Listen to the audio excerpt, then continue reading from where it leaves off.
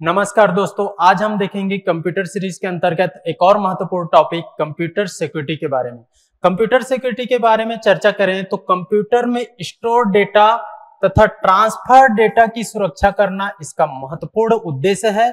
याद रखिएगा, ये अनऑथोराइज्ड यूज़र से बचाता है कोई भी अनऑथोराइज यूज़र किसी दूसरे यूज़र के अकाउंट में पहुँच करके उसके डेटा का छेड़छाड़ करता है। उसी से बचाव करना आपका कंप्यूटर सिक्योरिटी कहलाता है। साथ ही साथ इसमें आईडी और पासवर्ड लगा रहता है। यूज़र आईडी और पासवर्ड आप देखते हो अपने मोबाइल फ़ोन आपके कंप्यूटर आपके टेबलेट ये सब में हमेशा जैसे ऑन करते हो तो आप यूज़र आईडी यूज़ करते हो। आप पैटर्न लॉक लॉक रखते हो मतलब अपने। तो वो क्या करता है कि कोई भी अनऑथोराइज्ड जैसे कि आपका लैपटॉप पड़ा है कहीं पर मैं चला गया और वहाँ पर उसको यूज़ करने लग गया तो यूज़ नहीं कर पाऊँगा जब वो लॉक है सिक्योरिटी में है आईडी पासवर्ड लगा है। इस और अगर कर लेता हूँ तो आपके डेटा को चुरा भी सकता हूँ कुछ भी कर सकता हूँ। इसी कारण उसको आईडी पासवर्ड से लॉक रखा जाता है सिक्योर रखा, रखा जाता है। ये डेटा को नष्ट होने से बचाता है ये भी याद रखिएगा। अब इसके लिए अलग अलग साइबर अटैक होते हैं। ठीक है? कंप्यूटर सिक्योरिटी अलग अलग साइबर अटैक से बचाने का काम करता है। तो उन्हें साइबर अटैक के बारे में हम लोग आज चर्चा करेंगे, जिसमें spoofing sniffing phishing spam hacking आपका स्मर्फिंग ये सब आ जाता है। ठीक है? इसी को एक एक करके आज हम लोग डील करने की कोशिश करेंगे। ठीक? देखते हैं। सबसे पहले हम लोग देखें तो स्पूफिंग स्पूफिंग होता क्या है? स्पूफिंग के बारे में चर्चा करें तो ये आपका नकली पहचान बना करके मतलब आप समझिए कि अपना पहचान छुपा लेगा और एक आपका फेक आईडी नकली पहचान बनाएगा और नकली पहचान बना करके किसी दूसरे यूज़र को अटैक करता है और उस यूज़र के डेटा को चुराने का काम करता है। तो ये नकली पहचान बना करके आपका डेटा चुराने का काम करता है। याद रखिएगा। समझते हैं इमेज के माध्यम से। ये आपके यूज़र है।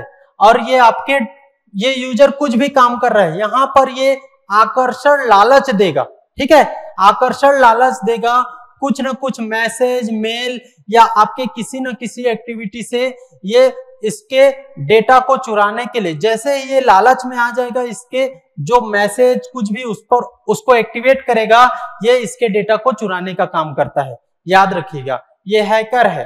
तो ये आपका नकली पहचान बना करके किसी दूसरे यूज़र के डेटा को चुराने का काम क्या कहलाता है?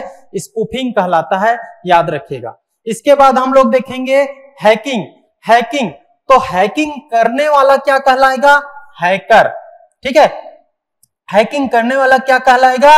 हैकर कहलाएगा। और हैकर देखोगे तो ये हैकर कैसे करता है?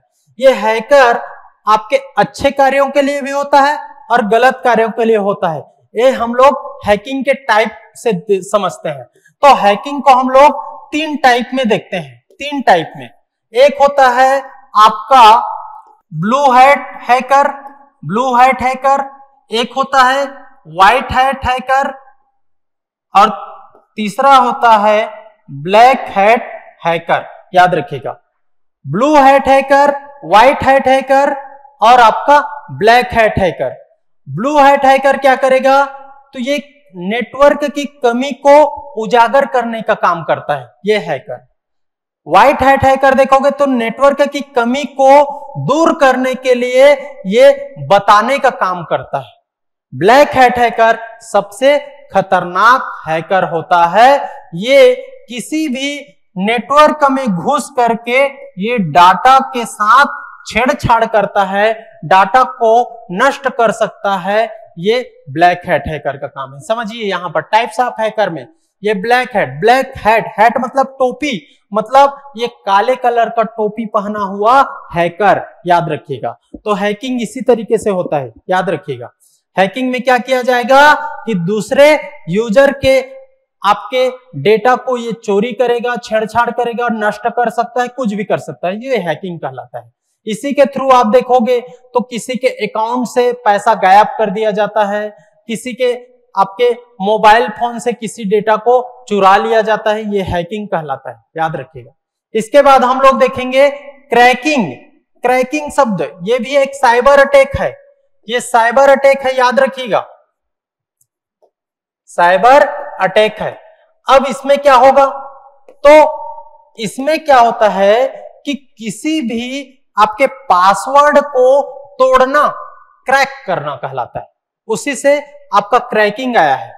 किसी भी अकाउंट के पासवर्ड को पासवर्ड को क्या करना, तोड़ना, पासवर्ड को तोड़ना क्या कहलाएगा, क्रैक करना और वही क्रैकिंग कहलाती है। यहाँ पर देखिए, इमेज से देखिए, पासवर्ड क्रैक। आप देखते रहते हो किसी अकाउंट के या किसी के, आपके बैंक के आप पासवर्ड को जान करके उससे पैसा पूरा गायब कर लिया जाता है। ये पासवर्ड क्रैकिंग कहलाता है।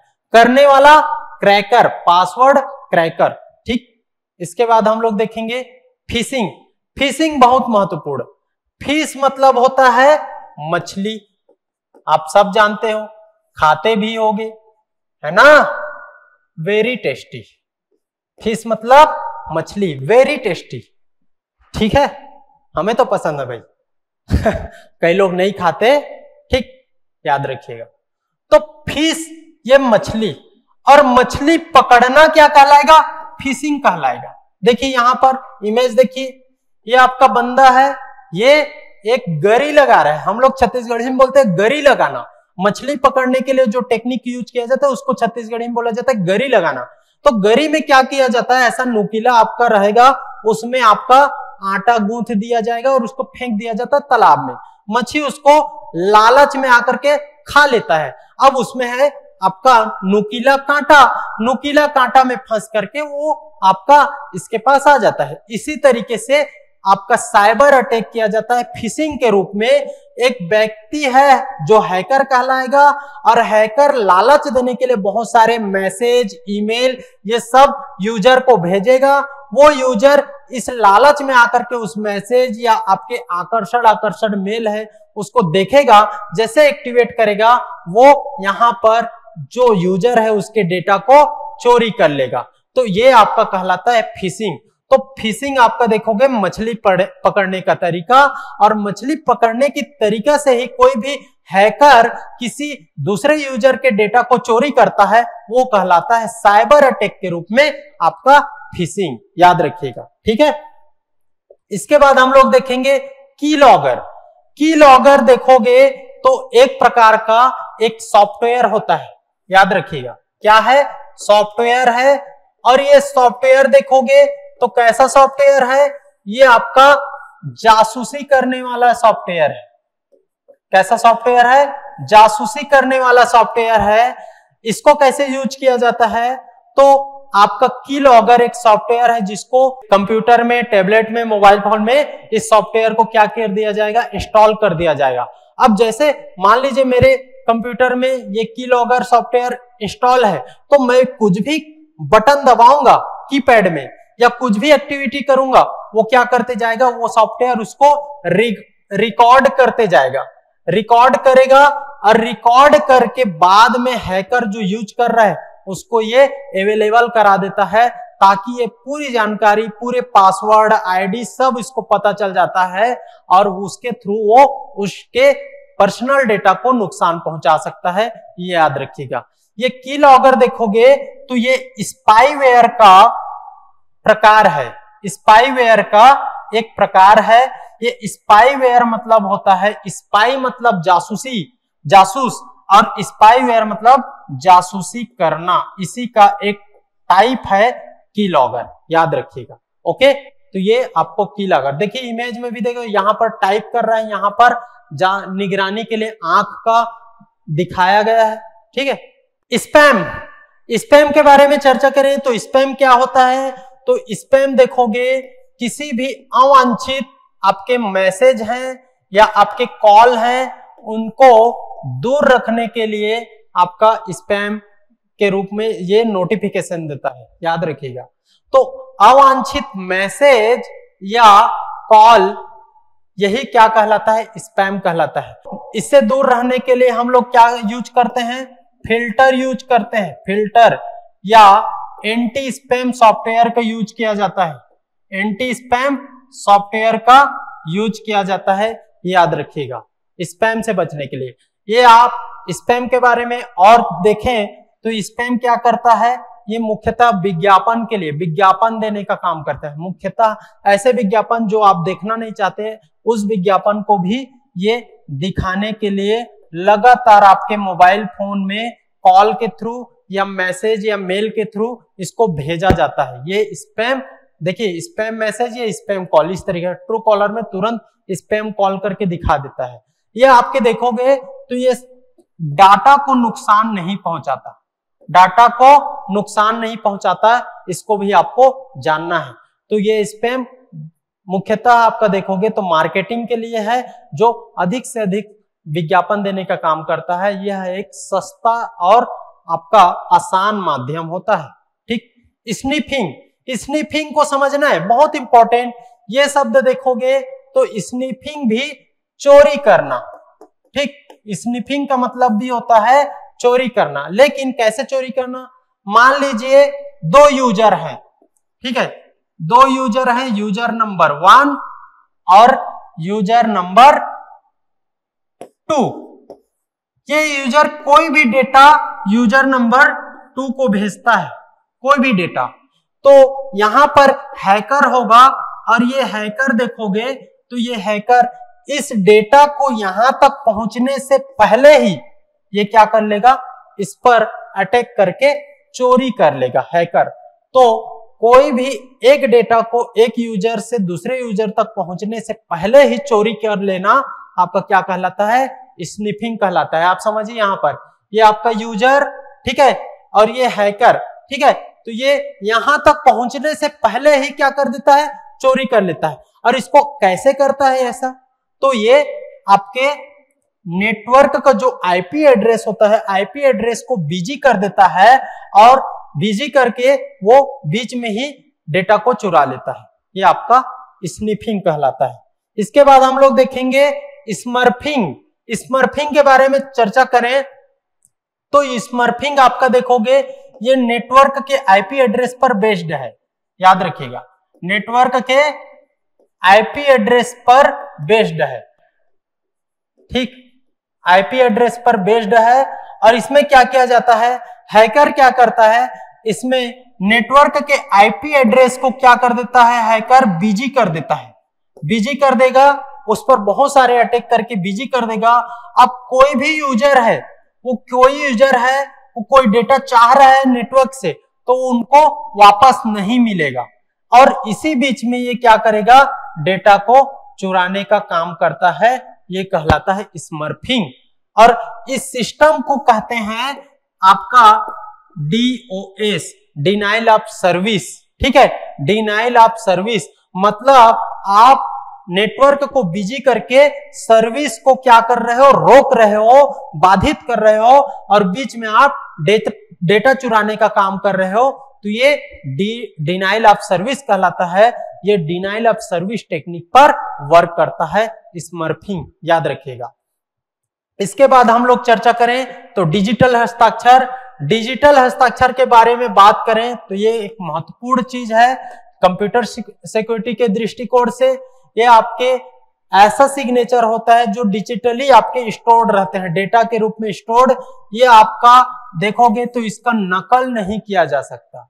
याद रखे, कोई भी व्यक्ति दूसरे के साइन को करके कोई भी बैंक से पैसा निकाल लेना या कुछ और काम कर लेना, ये नहीं किया जा सकता। इसी कारण डिजिटल सिग्नेचर का कॉन्सेप्ट आया और डिजिटल सिग्नेचर देखोगे तो कंप्यूटर सिक्योरिटी के लिए बहुत महत्वपूर्ण है, याद रखना है। कंप्यूटर सिक्योरिटी के लिए बहुत महत्वपूर्ण है ये डिजिटल सिग्नेचर। ओके? याद रखिएगा। इसके बाद हम लोग इससे संबंधित एमसीक्यू पर चर्चा करेंगे। तो सबसे पहला क्वेश्चन देखेंगे कि नकली पहचान का प्रयोग कर अनाधिकृत डाटा चुराना क्या कहलाता है। अभी मैं पढ़ाया हूँ इसको, है ना? नकली पहचान बना लेना और यूज़र से डाटा चुराना क्या कहलाता है? आपका ऑप्शन है spoofing sniffing spooling smurfing spoofing answer हो जाएगा स्पूफ स्पूफिंग स्निफिंग में क्या होता है? एक जगह से दूसरे जगह पहुँचने से पहले ही चुरा लेना और स्मर्फिंग में डिनाइल ऑफ़ सर्विस के थ्रू आपका डाटी, डाटा चोरी करना, ये आपका तो आंसर हो जाएगा ए ठीक है? सेकेंड क्वेश्चन देखें। तो यूज़र द्वारा भेजे गए डाटा पैकेट को प्राप्तकर्ता तक पहुँचने के पहले ही चुरा लेना। अब भी जस्ट बताया क्या? स्निफिंग स्मूफिंग ये है, स्निफिंग, याद रखना स्मर्फिंग तो डिनाइल ऑफ़ सर्विस पर बेस्ड है। ठीक है? तीसरा क्वेश्चन देखेंगे, निम्न में से कौन सा एक कंप्यूटर अटैक का प्रकार नहीं है? तो नहीं है पूछा है। सबसे पहले इसको अंडरलाइन करेंगे। नहीं है। फिशिंग पढ़े हम लोग। स्निफिंग पढ़े हैं। आपका स्पूफिंग पढ़े हैं। स्ट्राइकिंग नहीं पढ़े हैं। आंसर हो जाएगा डी याद रखिएगा तो इसमें आंसर हो जाएगा डी स्ट्राइकिंग नेक्स्ट क्वेश्चन देखें तो चौथा क्वेश्चन आपका कंप्यूटर तथा इंटरनेट के माध्यम से किया गया कोई भी गैर कानूनी कार्य, कोई भी गैर कानूनी कार्य क्या कहलाता है? इसका आंसर क्या आ जाएगा? Unauthorised access cyber crime digitally theft identity theft कौन सा आंसर होगा? आप रिप्लाई करेंगे, ठीक है? और यहाँ से, इस टॉपिक से एक क्वेश्चन कोई भी व्यापम की एग्ज़ाम हो, आना तय है, याद रखिएगा। यहाँ से बहुत बार क्वेश्चन पूछा गया है और बहुत एक महत्वपूर्ण टॉपिक है। इसको आप पूरा देखिएगा और समझने की कोशिश कीजिएगा। मैं आसान भाषा में बताने की कोशिश किया हूँ, ठीक है? और ऐसे ही कंटेंट प्राप्त करने के लिए हमारे कंपटीशन कम्युनिटी से जुड़े रहे। Thank you